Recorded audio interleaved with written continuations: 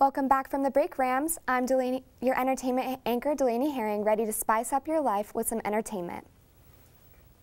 All right, I have good news and I have bad news. I always like to give the bad news first. Phil the groundhog has seen his shadow, which means six more weeks of winter. Come on, Phil, you couldn't have given us good news on this icy winter day. No, cash me outside, how about that? Now for the good news. Queen Bey is pregnant and she's not only going to be popping out one stardom bound spawn, but two. Beyonce took to Instagram yesterday morning to announce her pregnancy with rapper husband Jay-Z. She posted a stunning pregnancy shot captioning it, We are incredibly grateful that our family will be growing by two, and we thank you for your well wishes. You go, Beyonce, you go.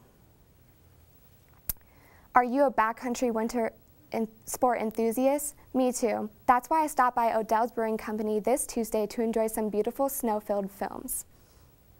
This past week, local Fort Collins brewery, Odell's Brewing Company, hosted the annual Backcountry Film Festival sponsored by the Winter Wildlands Alliance.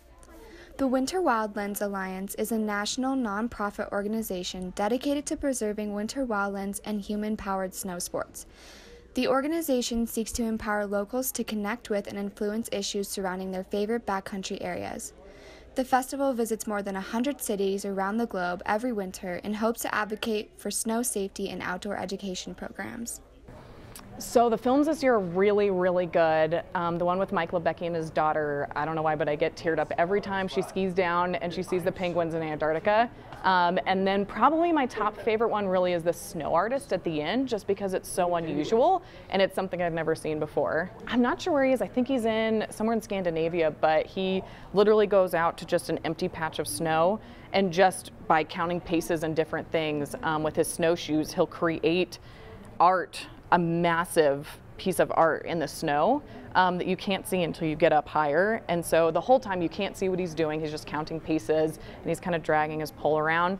And then he kind of climbs up the top of the hill and looks down and it just gives you chills every time. It's incredible. He made this like very intricate, perfectly measured out like snowflake in the snow. And it's, yeah, it's incredible. Um, I think uh, probably my favorite film, I don't remember the, the title of it, but it was a, a film of an uh, older gentleman uh, a National Geographic explorer, and he takes his daughter, uh, I think she's 11 years old, to Antarctica uh, for some backcountry skiing. Uh, and they ski down, and uh, you know they're, they're in this group of uh, penguins, and they see you know ski lions, and they're just you know making trails on their skis, you know around around the ocean in Antarctica. The festival features films produced by both professional filmmakers as well as amateur. You see a lot of just different takes on it. A lot is very professional. You can see like they've done a lot of editing, they have a lot of history with it, and some of it's just really beautiful, like raw film. There are other film festivals around the state, so if you want to catch the action, visit www.winterwildlands.org. Get ready to pop, lock, and drop it. Next Saturday, the Lincoln Center is hosting its 22nd annual Hip Hop Explosion on February 11th, starting at 7 p.m.